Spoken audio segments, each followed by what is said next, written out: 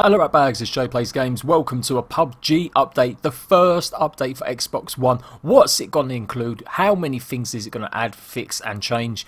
Not a damn lot. Let's take a look at the patch notes. You can see here the update for it is around 4.7 GB and it's a pretty small update really um, and hopefully it will give you some stuff but I don't know, the patch note seems a little bit light.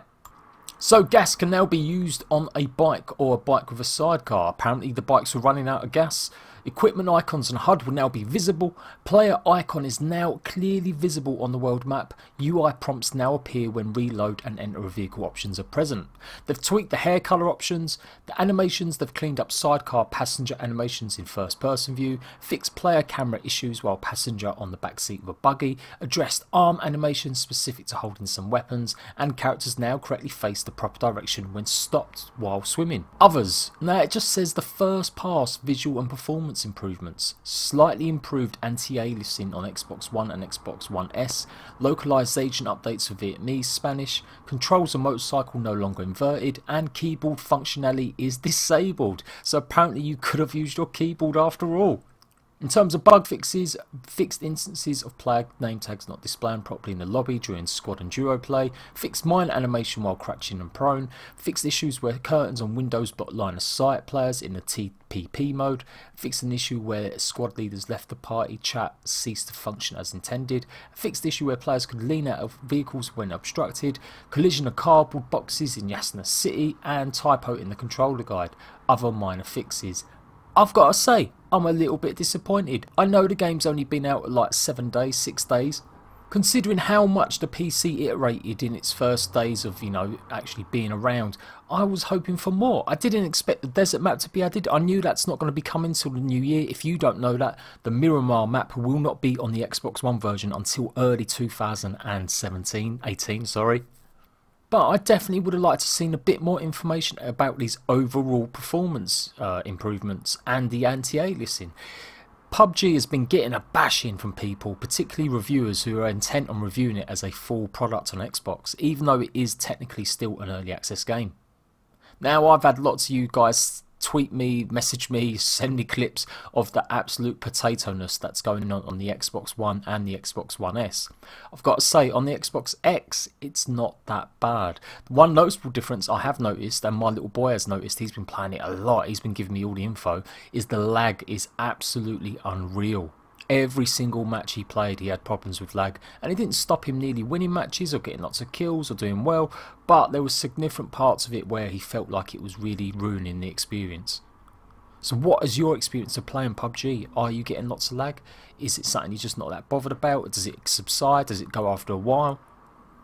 And what do you think about the potato-ness of the graphics on Xbox One and Xbox One S? It does feel like the game really just shouldn't be able to run on them consoles yet. If they can make Ark run on an Xbox, they can bloody well make sure PUBG runs in it properly, and I'm sure they will, but that's the kind of improvements I want to see more of.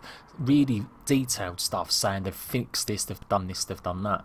And by the way, I'm saying this because there isn't no small development team anymore. They've set up their own brand new company. They outsource the actual port of Player Unknown Battlegrounds to someone else. So they should be able to do a lot more in short time rather than just saying, oh, well, you know, they've got to do this. It's going to take a while. The game has made millions. It's a billion dollar property now. So not buying it that they can't afford to make sure they get extra manpower or they really knuckle down and get more done for the Xbox One version. I mean, bearing in mind, look at the, what the graphics are like on Xbox X. It's still a potato. Does that bother me when it's in early access? No, not necessarily. I'm not that fussed about graphics. But definitely I want the gameplay to be okay and I want the animations to be okay because otherwise they really can take you out of the game if they're not. And it's that bit of lag you see there. It's literally every single match I've played. And I've got a fairly decent, you know, internet connection. So don't be going around blaming on people's connection if they're telling you they've got lag. I honestly think after reading some of the forums, there is some real problems and issues with the game they've just not managed to correct. And considering it's just come out on PC as well, that's even more reason we shouldn't necessarily be facing some of these issues. Definitely with some of the latest content, you expect it might not be there, it might be delayed, like the Miramar map or you know some other key features, but I don't think it's that much to ask to have the game actually run well.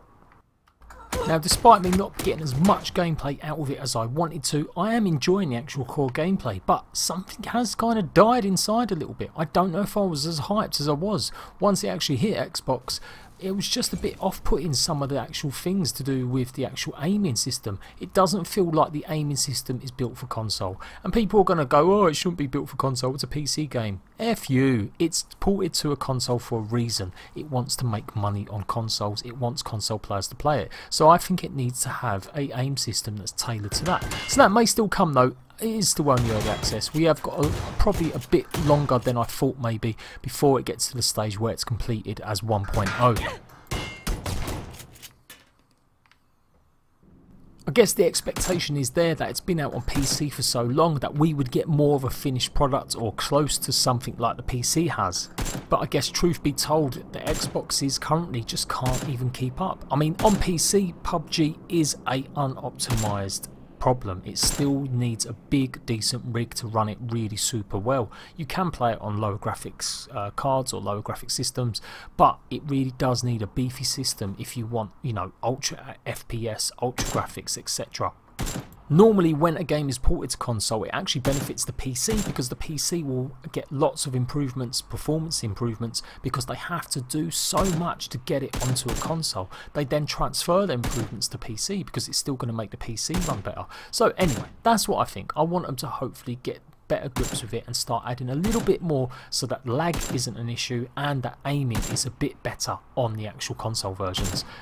Excuse this though, this is nothing to do with the game, this is just my potato aim trying to shoot at someone with an AK across 4 miles or so. I am just absolutely shit.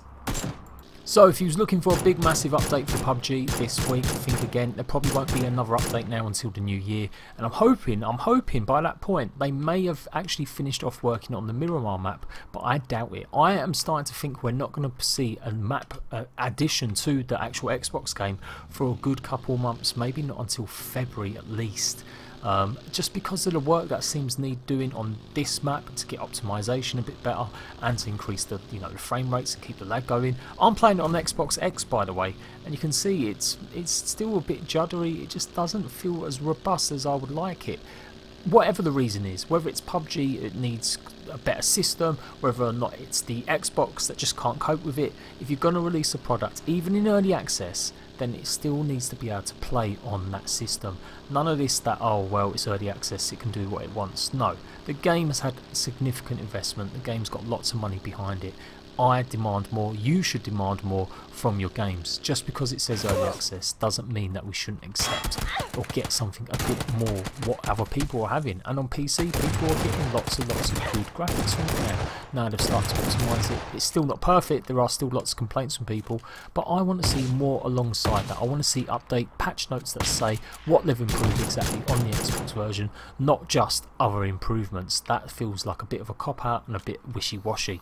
Let me know what you think? Do you agree? Do you disagree? How does it run for you? Is it stopping your enjoyment of the game? So far, everyone's been telling me they're loving it still. They don't really care. They're just enjoying the gameplay and they're getting loads of kills, loads of chicken winner dinners.